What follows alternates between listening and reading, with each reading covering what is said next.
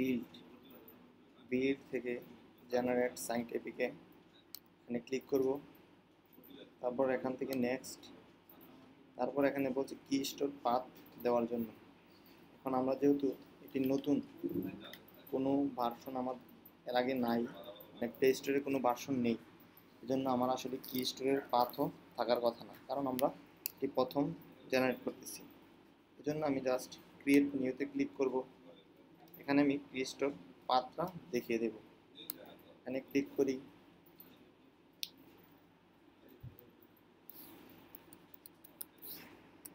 One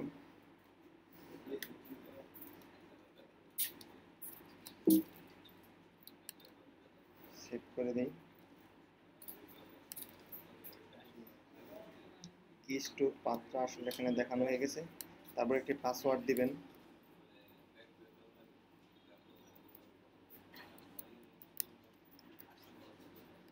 এখানে পাসওয়ার্ডটি আবার দিবেন।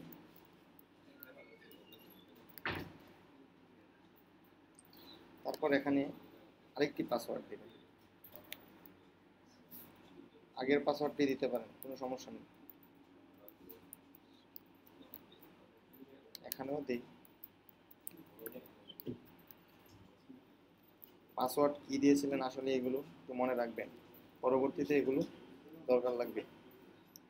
আচ্ছা এখন দেখেন ভ্যালিডিটি ইয়ার আপনার অ্যাপসটা প্লে স্টোরে কত বছর পর্যন্ত ভ্যালিড থাকবে অ্যালাইভ থাকবে, এটা আমরা এখানে দেখতে পাবো। এখানে আমি এটাকে বাড়াইতে পারি।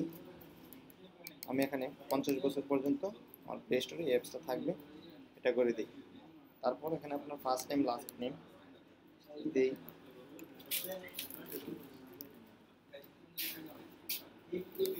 অর্গানাইজেশন ইউনিট নেম দিবেন।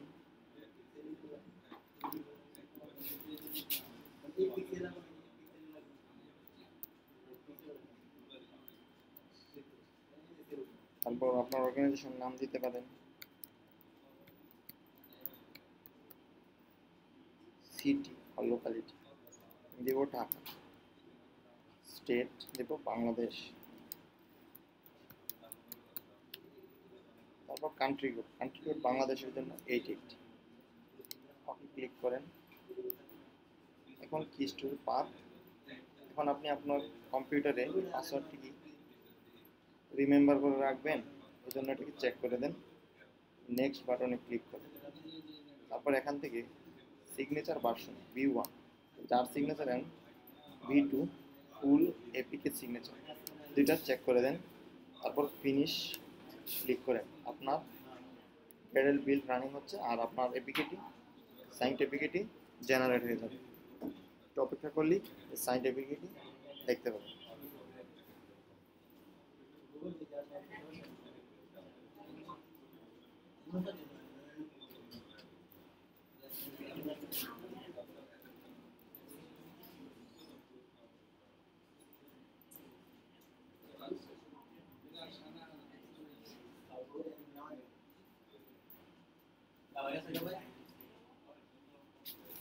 এই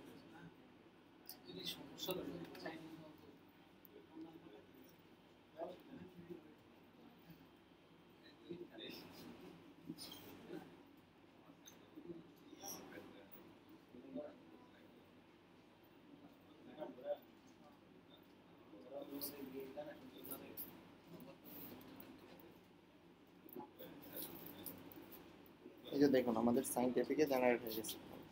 এই লোকের এখানে ক্লিক করি। ক্লিক করে দেখেন রিলিজ রিলিজের মধ্যে আমার এটাই হচ্ছে সাইন এপিকেটা এপিকে রিলিজ এপিকে আমরা আসলে প্লে স্টোরে এই এপিকেটেই আপলোড করব। সবাইকে ধন্যবাদ। আজ পর্যন্তই।